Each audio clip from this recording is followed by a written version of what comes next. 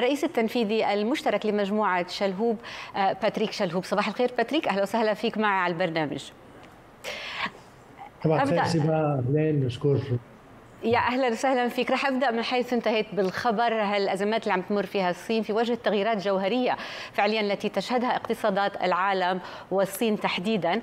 قطاع الرفاهية يبدو ضعيف للغاية vulnerable بسبب اعتماد القطاع على بشكل كبير على المستهلك الصيني. هل أنت قلق بشأن تأثير هذه الإصلاحات والسياسات التي نسمع عنها في الصين على القدرة الشرائية للعملاء الصينيين؟ وهل تشهدون أي تراجع فيها مؤخرا؟ إحنا بنحب نعطي أشياء إيجابية آه، عادة واكيد إنه أي شيء بيعطي تأثير ولكن آه، تركيزنا الأساسي والأولي على المستهلك الموجود بالمنطقة وعلى المستهلك السعودي الإماراتي أو الزوار اللي يجون على المنطقة. وفيني آه، أقول إنه آخر فترة تحسن كثير الأسواق المحلية لأن المستهلكين موجودين بالأسواق نفسها علينا نحن أن نعمل كل الجهد اللازم حتى نقدر نجذبهم ونهتم فيهم. وإذا إجوا الصينيين أو غير جنسيات أهلا وسهلا فيهم بستقبلهم بكل بكل حلو. يعني أنتم مش معتمدين على مش معتمدين على المبيعات إلى آه، المستهلك من خارج المنطقة. أو الضيف يعني. معتمد مش عليه أكيد مش معتمدين عليه بس أكيد بنعملهم بشكل كثير كويس بس اهتمامنا الخاص لازم يكون للزبون الموجود والمستهلك اللي بيجي وبيتردد ونبني علاقة قوية معه ونفهمه والسواح اللي يجون أو الزوار اللي يجون بنرحب فيهم وبنجرب إنه نخدمهم بس اتكلنا مش عليهم اتكلنا على الاسواقنا وعلى مستهلكين خليني أسألك طيب إلى أي مدى آه، كان في أثر من جائحة كورونا على أعمال مجموعة شلهوب؟ تحديدا إلى أي مدى قلص آه، كوفيد بصمتكم على الأرض ال footprint للمجموعه brick and mortar هلأ أول ثلاث أشهر من الأزمة آه، بفتكر إنه كلنا آه، آه، تأثرنا كثير لأن المحلات التجارية سكرت لأن الناس كانت خايفة لأن مش حابة تصرف ولا ولا أي شيء. بهالوقت جربنا نقوي كثير كل المبيع بالجهاز الإلكتروني ال e-commerce وال digital جبرنا إنه نقوي كثير. وكمان آه، كثير اهتمينا بهالفترة إنه نضلنا باتصال مع الزباين تبعنا، لو ما كنا نمارس المبيعات، لو ما كان فينا نفرجيهم بضاعة أو أو أو بس مهم إنه آه، هالعلاقة الشخصية نعطيهم آه، هالقوة هالاهتمام بالأوقات الصعبة الموجودة فيها. بس بعد ثلاث أشهر أو أربع أشهر من مرقت البانديميك حسينا بتحسن شوي بالسوق. حسينا شوي إنه بلشنا نرجع نفتح المحلات التجارية وأكيد اهتمامنا الأول اول كان على صحة الزباين وصحة موظفينا. نعم. ولكن نفس الوقت اهتمام إنه نقدر نجيب لهم السلع اللي فيهم يهتموا فيهم ونقدر نفهم كيف عم يتطور السوق ونتطور معه فالفترة 2020 كانت فترة صعبة كثير صعبة أولا تحسنت شوي خلال خلال السنة بس بس إذا بأخذها اجمالا على سنة 2020 يمكن صار عندنا انخفاض بالمبيعات 20 25% بالنسبة ل 2019 هلا ما لكن بعد 2020 نعم. تفضل. لا تفضل. بدي أسألك أنت على بعد دورك أنت ضيفي تفضل. شكرا. لا بعد 2020 يعني سنة 2021 تركيزنا الاولي والأساسي على المستهلك الموجود بالبلاد اللي ما سافر ولازم نعطيه أشياء إضافية ما كان ما كنا يمكن نقدر نأمن له إياها مثل قبل بل آه، يمكن اجتنا فترة بالعكس قدرنا نربح زبايننا بشكل آه، متكامل أكثر وزباين جداد يمكن ما كانوا يتسوقون بالأسواق محليا خاصه بالسوق السعودي. آه، كثير بالسلع تبعنا بال luxury products الزباين كانوا يشتروا من الخارج هود ما يشتروا من الداخل نعم. والسبب من الأسباب يمكن ما كنا نعطي هالخدمة اللازمة أو هالتجارب الفريدة اللي جربنا نعملها فيها. بل نوعا ما مع ال pandemic جبرتنا إنه نحسن نحسن طريقة البيع والاتصال مع الزباين أكثر بكثير من ما كنا قبل. الحمد لله سنة 2020 و21 عم نحس بهال مردود هالجهد اللي عملناه هل عادت المبيعات للمستويات اللي كانت عليها ما قبل الجائحة آه، أو هل تحسنت عنها؟ هلا بأسواق السوق السعودي اللي اسواق محلية مش بنتكل على السواح أو الزوار آه، المبيعات الحمد لله أحسن من 2019 وسبب من الأسباب هو وجود الناس وعدم سفرهم على الخارج والسبب الثاني هو تحسن كل الطرق البيع والتجارب اللي موجودة بالسوق السعودي نفسها. وهي نعم. بس بداية الطريق. يعني لحد 2019 حسب تقديراتنا وتقديرات الدراسات اللي عنا إياها فقط ثلث المشتريات بالموضة luxury fashion كانت تنعمل بس من السعوديين بالسعودية وثلثين خارج السعودية. حلو. اهتمامنا الكثير إنه نغير هالتوجيه وهي كان اهتمامنا من قبل ال pandemic حتى. لا بأسواق مثل الإمارات التأثر كان الآن آه، في اتكال على الزوار والسواح ومنهم زوار السعوديين أو زوار الروس أو أو الصينيين وما شفنا كثير. ما رجعنا على مستوى المبيعات تبع 2019 ولكن الحمد لله كانت اقوى مما كنا مفتكرين لأن صار آه، يمكن شوي شوي انفتاح البلاد وبالمحافظة على ال على ال آه، أساليب الصحة. تقريبا رجعنا على مستوى 2019 بس مع زباين يمكن نوعا مختلف عن هاللي كنا نشوفهم ب 2019 كثير من اللي عم نسمعه بالأسواق العالمية بالعواصم العالمية آه، كثير من محلات التجزئة آه، سكرت طبعا بسبب آه، الجائحة أيضا بسبب التحول إلى التسوق أونلاين أو التسوق الرقمي. لأن قديش شفتوا أنتم في مجموعة شلهوب انكم قديش سكرتوا من محلاتكم قديش خفضتوا من وجودكم مجموعة عندنا 750 محل. من 750 محل كل سنة بنسكر عدد من المحلات بنفتح عدد من المحلات لتغير بالأسواق. سنة 2020 يمكن آه، سنة اللي سكرنا فيها أكثر أكثر محلات. ويمكن سكرنا 90 محل على 750 ولكن نفس الوقت فتحنا ولكن بشكل أقل من السنين الماضية.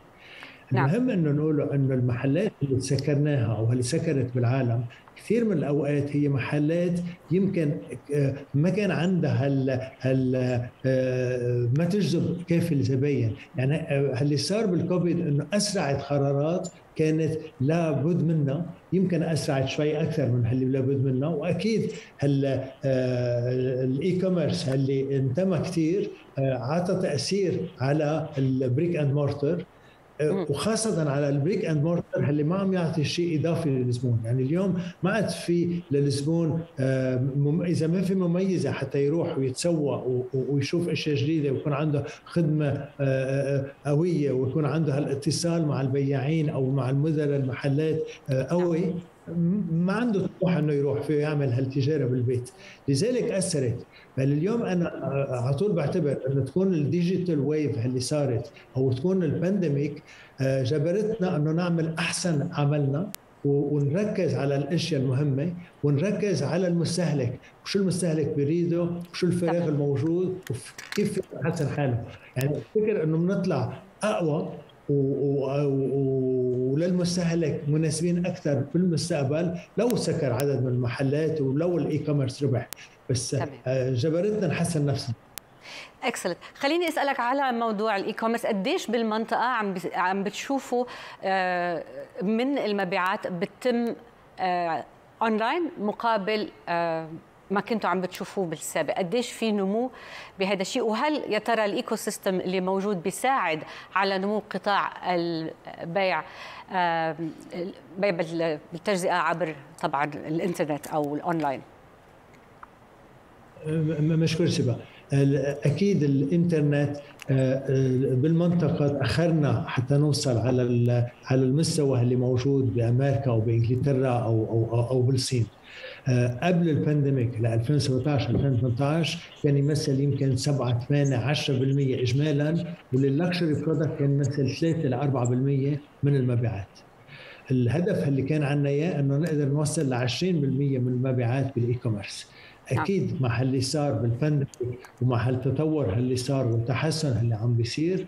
قدرنا نتجاوز الأرقام اللي كنا مفتكرينها وجبرنا كمان إنه نستثمر أكثر بكثير بالوسائل وفي كثير أشياء حاليا مش على المستوى اللي عم نطلبه لأن التطور صار بسرعة كثير.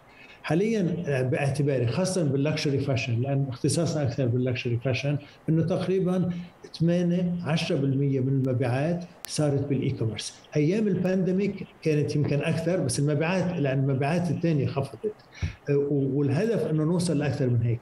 بس الهدف الأكبر الاكبر اللي لازم نحن ك ك retailer والسوق يفهموا إنه اليوم ما عاد في هال barrier بين ال e-commerce وبين brick and mortars المستهلك أي مستهلك بيستعمل e-commerce وبيروح على المحلات. صارت لازم نفهم كيف هالمستهلك عم يتحرك بين ال e-commerce ال brick and mortars وين بيجذب وين بيشتري. ونعطيه نفس ال ال ال طريقة العمل نفس التجارب الموجودة. في كثير تحسنات لازم نعملها اليوم بال brick and mortar حتى آه، مثل ما قلت نعطي هالتجارب الفريدة هالخدمه الفريدة. بس في كثير تحسنات لازم نعملها بال e-commerce حتى كمان نكون آه، نسلم على الوقت آه، آه، يكون reliable نعطي منظر أحلى للبضع والصنعه يمكن بعد 10 سنين يكون 50% 50% ما بفتكر بس يمكن. يمكن يكون 20 80 أو 80 20 بس مش هيدا المهم. المهم إنه نقدر نتوصل على المستهلك ونخدمه بأحسن طريقة وأحسن أسلوب e-commerce أو brick and mortars أنا ضد هالفكرة إنه في حرب بين الاثنين. بالعكس في تكامل بين الاثنين. في تكامل وعلينا اللي ما بيقدر يتصور عم يخسر قسم من السوق. ولازم على طول نتبع المستهلك كيف المستهلك عم يتطور هي مش مسألة حرب هي مسألة آه، فعليا أنه يكون آه، في آه، مثل ما تفضلت وقلت في هذا التكامل يلي هو عم بينشط أيضا الدورة الاقتصادية. أخيرا خليني أسألك بس على موضوع سلاسل التوريد ولأي درجة التعطل اللي عم نشوفه بالشحن الارتفاع بتكاليف الشحن وتعطل سلاسل التوريد عم بيأثر على على ال business عندكم وتحديدا أكيد هوامش الربحية. هلا آه، أثر آه، فترة آخر ست أشهر أثر بسرعة هالوسائل التغيير لأن مثل ما تفضلتي آه، الأسعار طلعت وفي اليوم عجز لأن صار في طلب أكثر من من العرض.